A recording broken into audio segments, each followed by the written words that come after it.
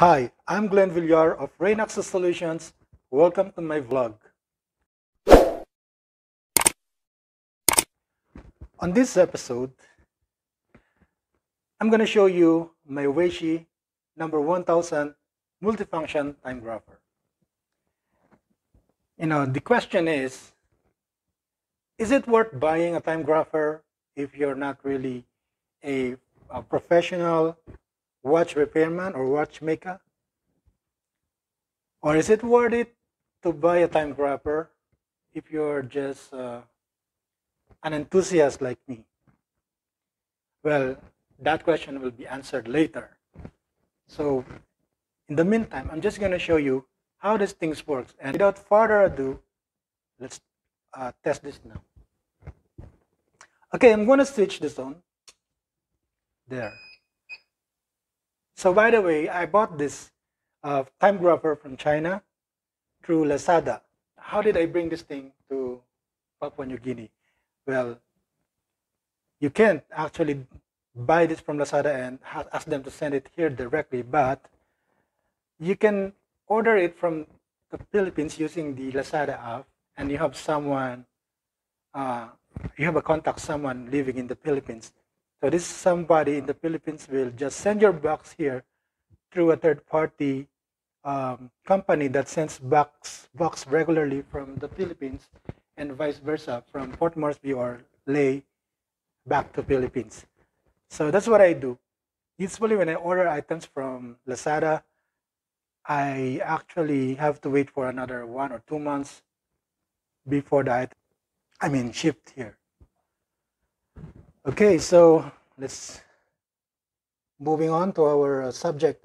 So we have the Weishi number 1000 here. And when you open it, it just says bitrate auto detect. Oh, by the way, we have four parameters in here.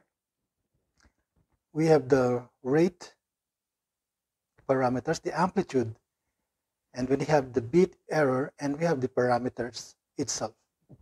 So what does this thing do? It just actually measure the you know the the parameters of your watch. If you watch, if you're uh, oh sorry, this this uh, this uh, machine is actually intended for uh, automatic watches only. Uh, it doesn't work for uh, crystal watches or battery operated watches. And it's specifically made um, machine, or what they call this, mechanical watches, which are run by um, barrel, drum barrels. So it's, it's like this one. This is the Seiko 5, which I have uh, for more than uh, three to four years now. And it's, it's still working. But sometimes I don't get an accurate uh, time from this. They are specifically made for automatic watches. What are the automatic watches? Automatic watches are watches that are run by uh, power reserve made by either winding down the crown or through this uh, swiveling thing here at the back of the mechanical watch. So as you move your watch, as you can see here, it, you know, move this two hands there. I don't know if you can see, which in turn, oh there, which in turn moves this circle here and wind up the coil inside the, the barrel and then it is slowly released by some lever and then you can see from here that it's swiveling back and forth. The hairspring. So as long as this thing is uh, ticking, then your watch will also work. So, how do we know if the mechanical watch are, I mean, it's still working nicely and uh, doesn't need to be serviced yet. So through this thing. So how to use this thing? This actually the time grapher has two parts. The main body part and the microphone part here. And although it doesn't look like a microphone, it is. So it's easy to put your watch in here and use it, you know, like just you see the groove in here? It means you need to put the crown on that part so it doesn't get in the way. So just pull this towards the right side and place your watch on top of it. There. So what is there, you can see it's automatically reading the uh, signal for your phone. Now, actually, not the signal, but the sound or the vibration that your phone, uh, your, sorry, did I say phone? Your watch is making. Sorry about that.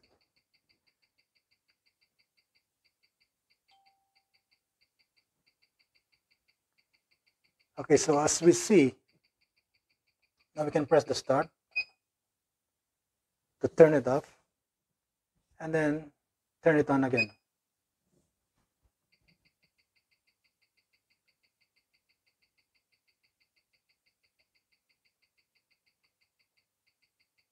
So what does it what does it say about my watch?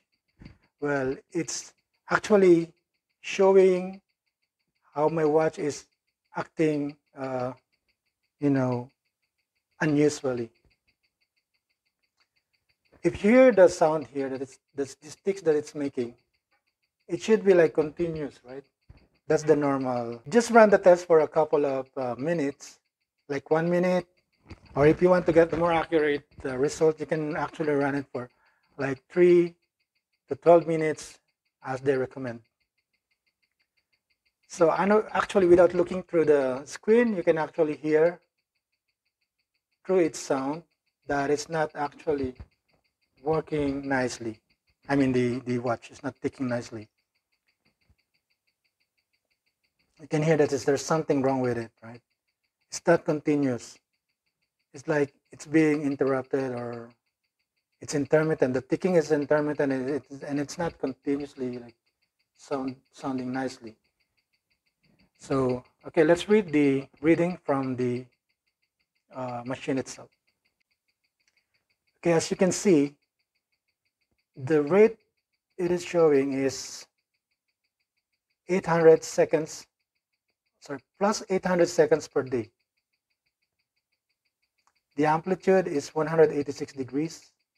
The bit error is 8.5 ms and the parameters are 21,600 at 52 degrees.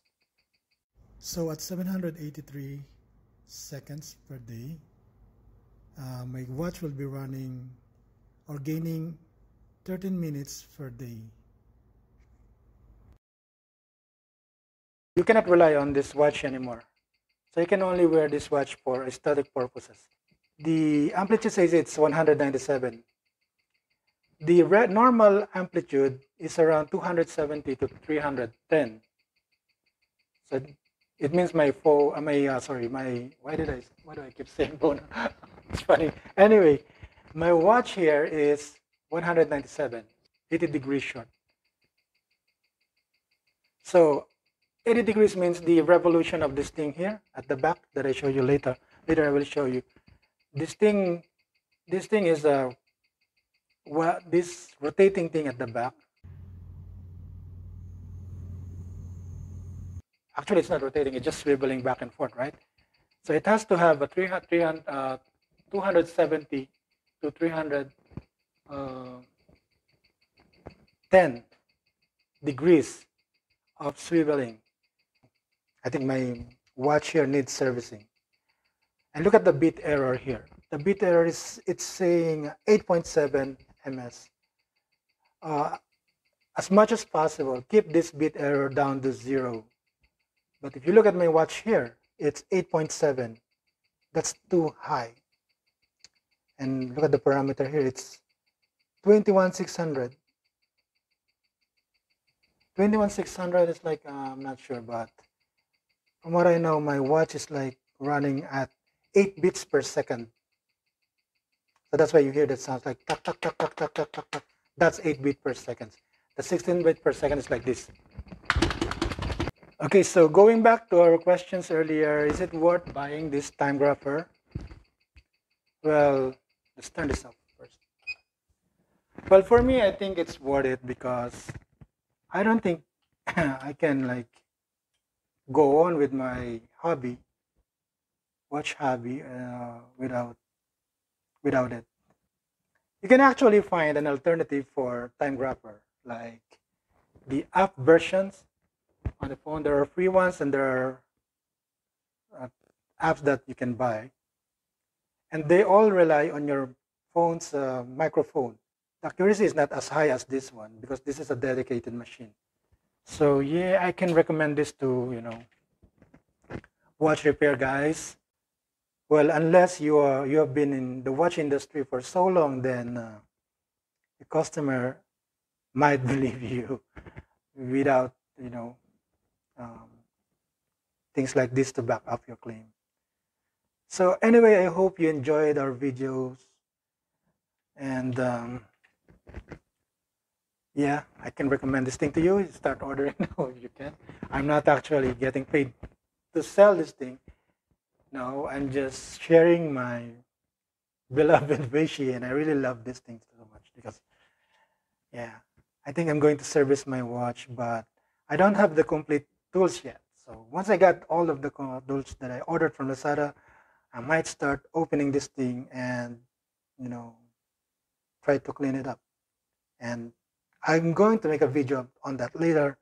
So I'm going to show you how this thing, how effective this thing is on that future video.